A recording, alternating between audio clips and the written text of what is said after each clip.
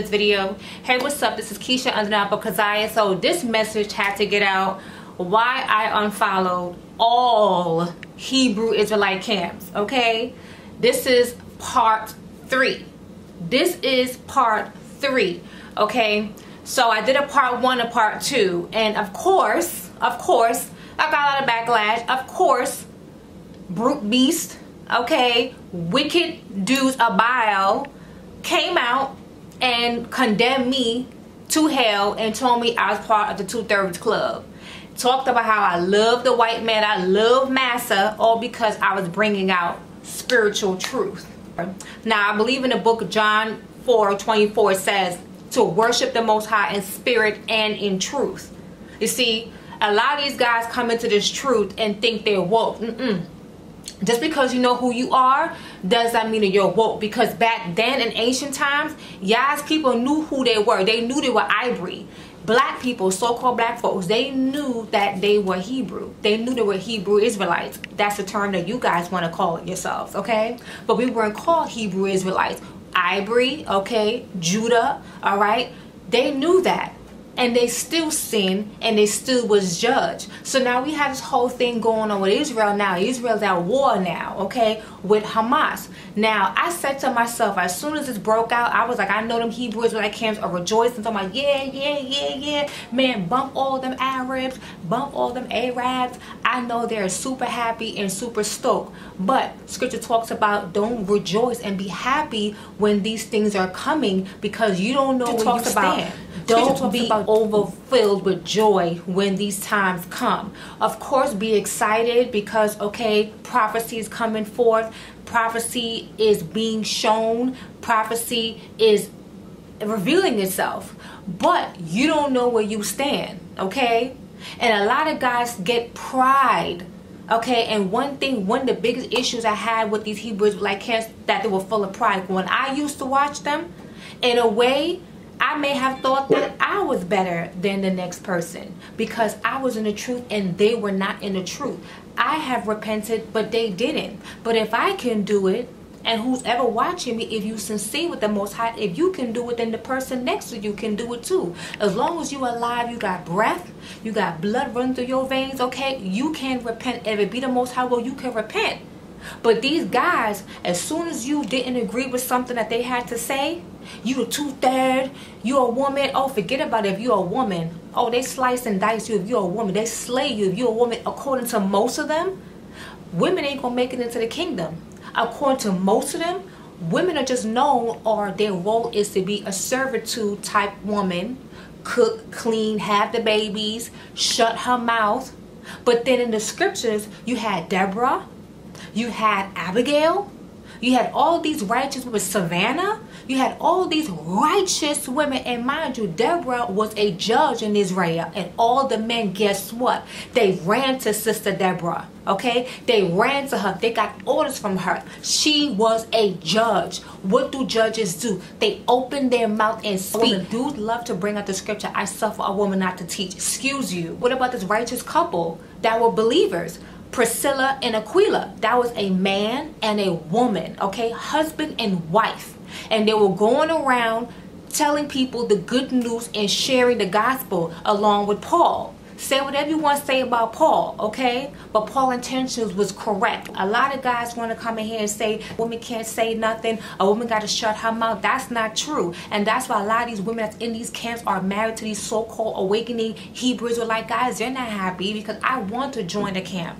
I wanted to join a camp because they kept pushing, oh, you know, you got to join the camp. Oh, you know what I'm saying? Uh, Israel, you know what I'm saying, need to stick together and all this other stuff. And I'm like, okay, they will bring out the scripture, gather yourself, O nation, not desired. Okay, so of course, us being by ourselves and other nations against us, because you see how we get treated in the streets as black folk, okay?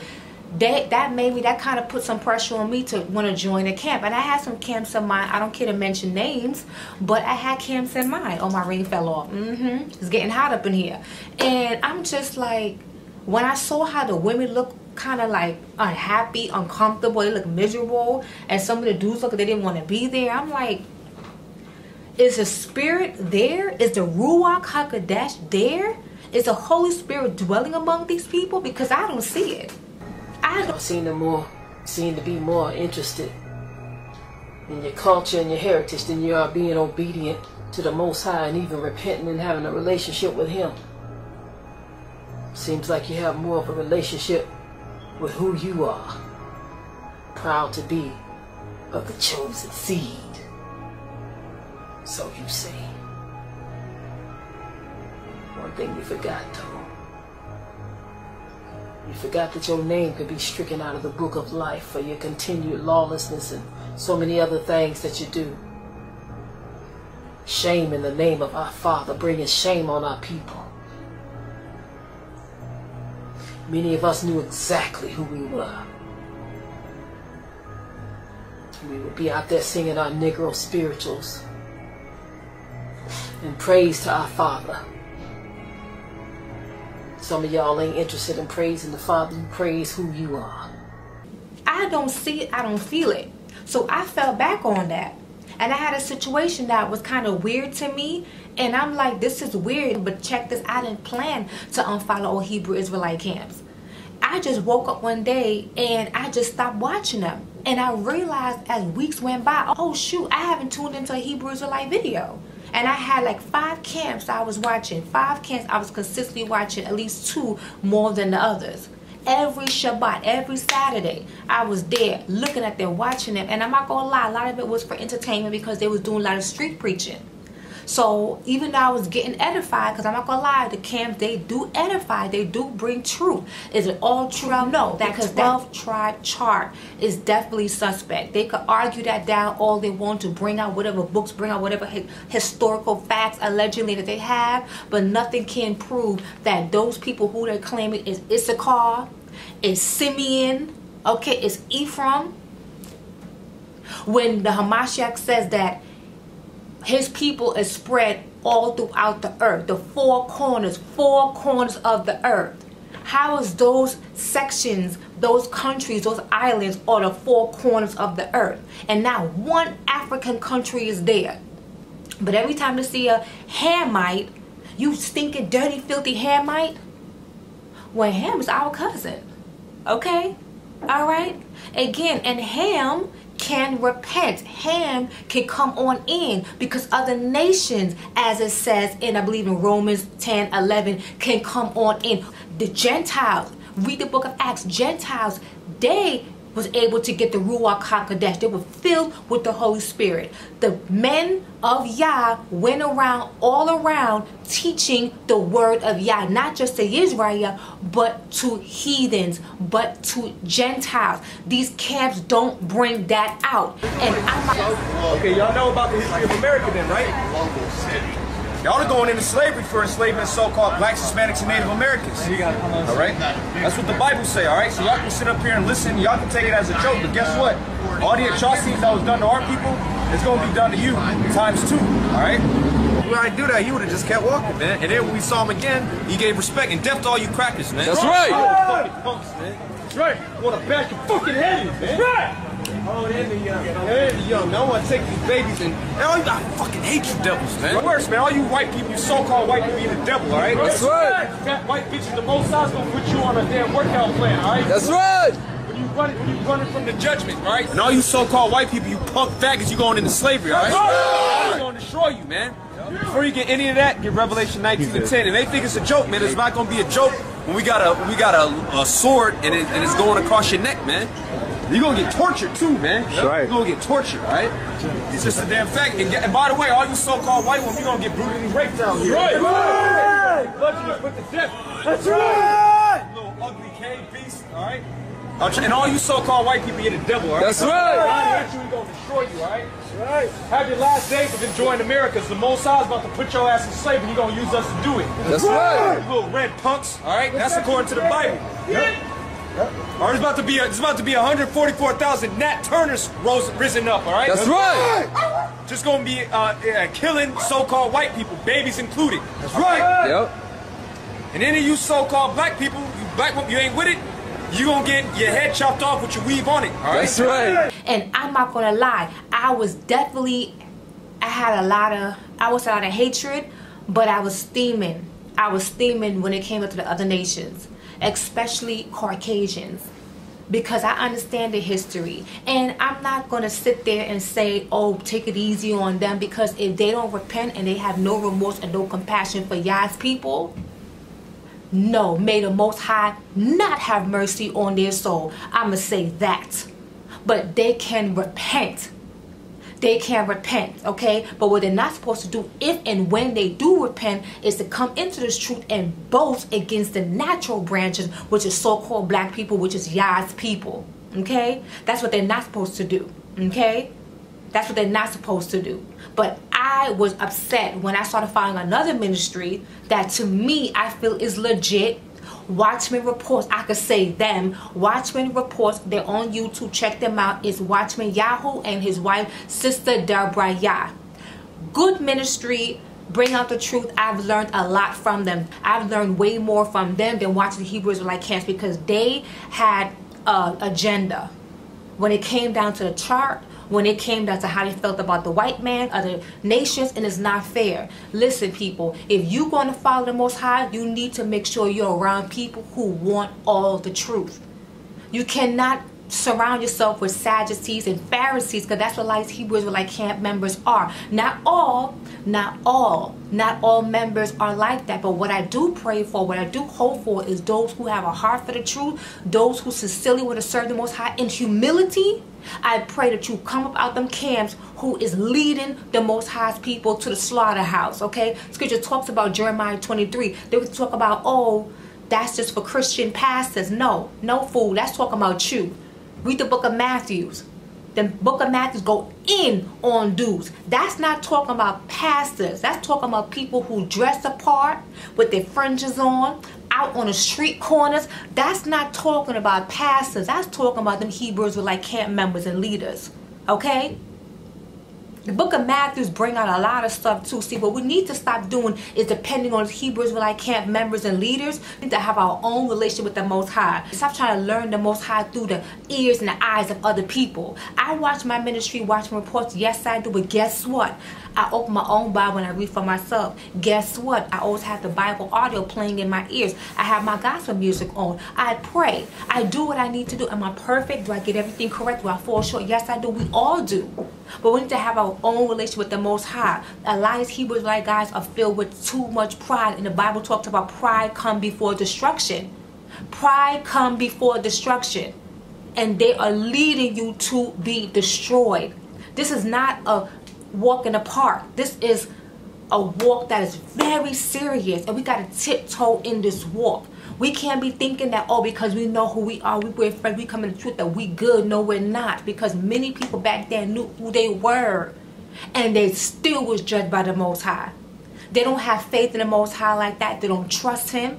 They don't honor Him. Look how they treat their women. A lot of these guys don't believe in chivalry. A lot of guys don't believe in romancing their wives, buying flowers for their wives cooking for their wives to giving their wives a break helping their wife encouraging their wife to be a businesswoman to go back to school to educate herself let her learn the bible so she could teach the children the scriptures okay encourage other women to follow the Most High, be a light onto the world. These guys might encourage these women to do that. Just shut your mouth, cook, clean, give me sex, have my baby, um, sew our fringes on our clothes, prepare the lamb. A lot of Hebrew Israelites error in the Passover because the true lamb is the Hamashiach, Yahushua Hamashiach, the Messiah. He is the true lamb. You don't need to be cooking and killing no doggone lamb. Why you think he died? There should be no more death. Why are innocent animals that to be killed, slaughtered, and murdered because you want to eat you a piece of friggin' lamb? When he's a sacrificial lamb, that's it. If you accept him as a sacrificial lamb, there should be no other lamb to be have. But you want to eat because you want to celebrate. You want to party. Oh, I can't celebrate Thanksgiving no more. I can't celebrate Christmas no more. I'm giving that up. But in any little feast that come along, we got to feast, we got to eat, we got to get dressed up, we got to have a good time. These feast days not to have a good time. These feast days to commemorate the life of the Hamashiach to honor him, to show love to the Most High. This is a serious thing. Get into the scriptures, read the scriptures. Everything doesn't have to always be celebrate, celebrate, celebration, and party, party, party. People rapping and dancing and acting a fool. You know, it's ridiculous what you see in these um, celebrations. Most High talks about how I can't stand your feast days. Your music is like noise to my ears. This feast days, they're not just talking about Christmas, talk about Hebrew Israelite assemblies too as well. Because there be some folly going on up in there. I'm just saying, you guys, pride can lead many of you astray if you don't accept the entire truth and read the scriptures for yourself. Stop picking scriptures that is comfortable for you. I listened to the Bible audio, Matthews 23 and 24, and I had to pause because it was just like, man, these scriptures cut. These scriptures is serious. These scriptures is not a joke. The Most High is not playing. You know, we're supposed to be humble. We're supposed to cry. Literally, if you're a man, I don't care. Cry out to the Father. Get on your knees. I don't care if you're in your bed, wherever you are, even some private time. Cry out to the Father. Tell him every day that you're sorry and have mercy on you and your people. Oh, All this beating up your chest and we Hebrew Israelites is nonsense. It's nonsense. We have to stop this foolishness and humble ourselves because that is what the Most High is looking for. He's looking for humility. Okay, he desires humility, a soft heart, a contrite heart, and a broken spirit. That's what he's looking for. When you look at the Hebrew Israelite camp members and leaders, do they have a broken heart and a contrite spirit, or are they full of anger and violence? Talking about beating up people and raping women and all that other foolishness. Three uh, fantasies of women is to get raped. That's right. Who are you? Who do you Go ahead, you do some are research. Saying that it's- Oh my Uh, God, do I've some done research. research. Do You some- know, okay, I've taken look up. Okay, look it up right now. Those your daughters? My daughter. We're gonna take your daughters, right? They're gonna be our concubines. That's right. Hey, somebody might pick you up too. Hi, my friend. I'll pick you up. A lot of times these women walk around proud as shit, dressed Super proud. titties out, ass out, proud as hell, man. Yep. There's gonna come a time when the man's just gonna take it. Ain't gonna be no police out here to save you. Right. Hey, I'm gonna say this: man. Everybody got something, something against rape. If you didn't walk up down these streets and see all these fucking freaks called women nowadays, yeah, that's a nigga. Dude, talking about all these freaks, all these freak ass bitches, and you ain't had the urge to even a thought of raping that bitch. hey, you a faggot, man. So all you niggas that come up against that, you a straight faggot. Look at these little sluts, man.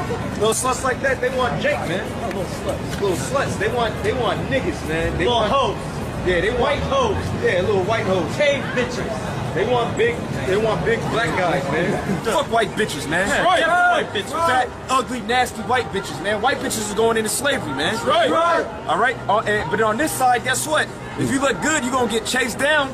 You're gonna get. Hey, look, man, because hey, rape, the rape, rape isn't just some. Oh, we gonna be making love, but we love the white woman, man. We gonna grab you by your fucking leprous hair. All right, might slice your neck a little bit. All right, have you bleeding. Give you a give you a few jabs, man. and bashing people's heads in when the Hamashiach come back. One guy said he's gonna cut his own mother head off on camera. A Hebrew Israelite leader say he's gonna cut his mother head off if she don't repent. What kind of nonsense is that?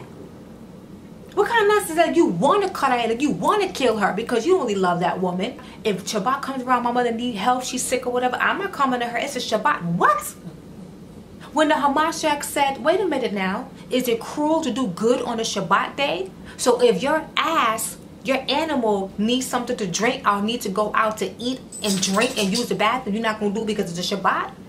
If your animal get lodged somewhere, get stuck and trapped in a ditch somewhere, you're not gonna go and help the animal help your brother, help the animal. Oh, it's a Shabbat, Is it Shabbat, Is it Shabbat. I can't do no work. Come on now. The scripture talks about don't be overly wicked, but don't be overly righteous neither. Okay? In this walk, people, it's a balance. And I've been learning that from the beginning. It's a balance. You have to discern and you have to have the right spirit to have a beautiful balance when you in this walk with the most high. This is very, very serious, people. I'm telling you guys right now, stop depending on any pastor, any bishop, any Hebrew Israelite camp. I don't care who they are. Even a ministry that I suggested to you, Watchman Reports. You have your own relationship with the Most High because these people can't save your soul. They can help you and guide you to the Most High, but they can't save your soul. That's on you. Okay? Humble yourself. Women, don't think because you in the truth, you got your Maz apparel on, your head wrap on, you think you better than the next sister. Humble yourself too, sister. Because I'm hearing a lot of jealousy and envy going on among the sisters in Israel too as well, even in the truth. Folly. This whole sex is marriage garbage. Nonsense.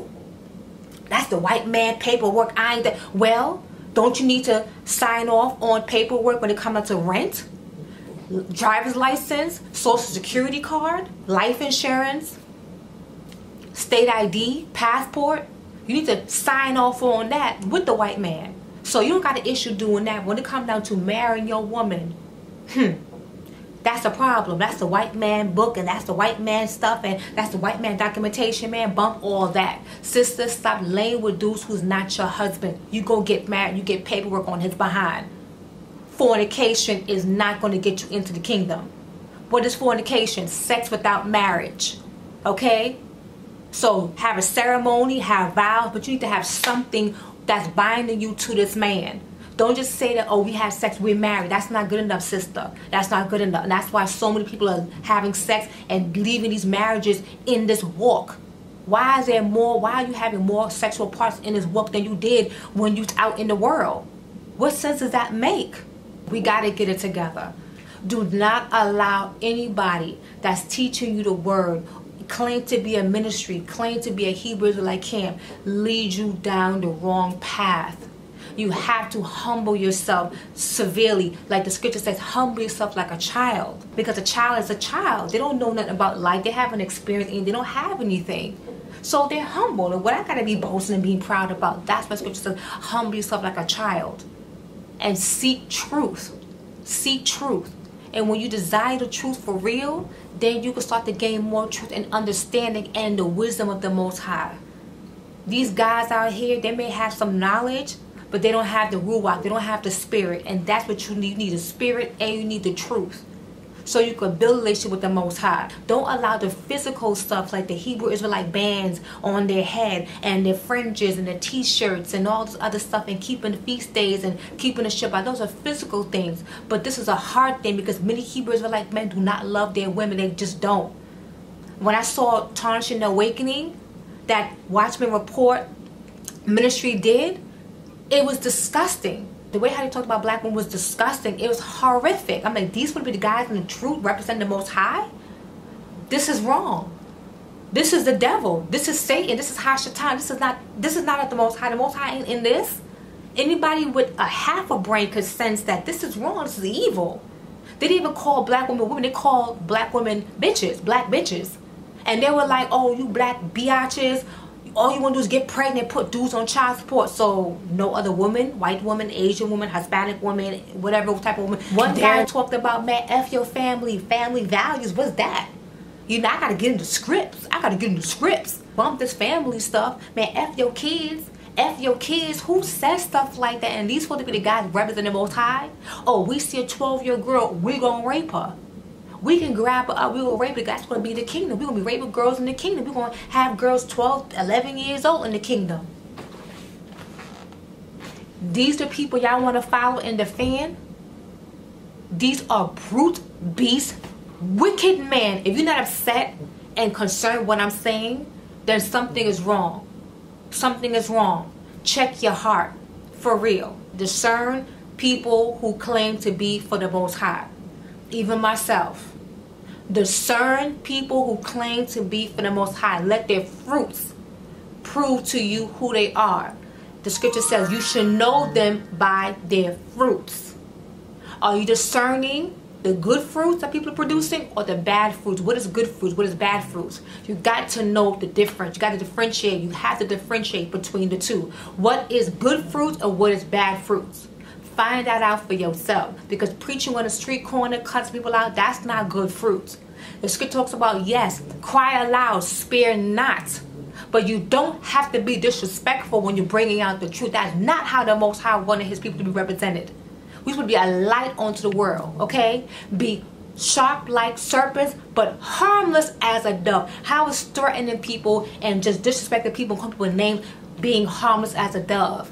How are you going to bring people in? It don't matter if they're black or white, Edomite, Hispanic, Asian, it don't matter who they are. If they have an ear to hear and a soft heart that's going to be humble enough to accept the word of the Most High and represent the word of the Most High, let them do it. The more people you disrespect and the more people you push away with your horrible, horrible delivery, that's going to be on you. You're going to be judged for that. Because in heaven, they're taking notes There's notes being taken, and you may not be judged swiftly, but it's going to come. So I suggest anybody out here listening to me right now, watch who you follow, watch who you support, pay very close attention. YouTube. There's I have a bishop that I watch here on YouTube. Now, there's something that strike me. He says that how he knows the word the Most High not being for homosexuality. Okay, all right, cool. We all know that the Most High is not for that. He made man and woman. Period. Okay, but he would say things like, "Well, my family know how I feel about it." my church know how I feel about it, but they in my family is not not gonna do about it, and they in my church. Pause. Hmm. When he said that they're in his church, Bishop, come on now, come on now, and he speaks so eloquently. He dressed nice. He knows the word the Most High, Well, a good amount of scriptures. Okay, he talks about how blessed he is and how the Most High speaks to him and do this and that. But the Most High didn't tell you to kick them homosexuals out of your church and repent because there's no homosexual entering the kingdom of Yah. Okay? If you claim to be of the Most High, you have to be set apart and holy. Okay? How is this church, the house of Yah, the house of the Most High, how is that set apart and holy, having homosexuals that are living a life contrary to the Most High will, how is that a sanctified church?